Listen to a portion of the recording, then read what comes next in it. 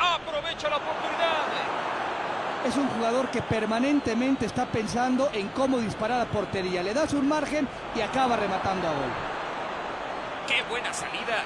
Aquí le va a dar. Entró, señoras y señores. Entró. Tremendo golazo. Este gol será el decisivo Este grandísimo rompimiento que termina en gol es un ejemplo de manual de cómo se debe jugar a la contra.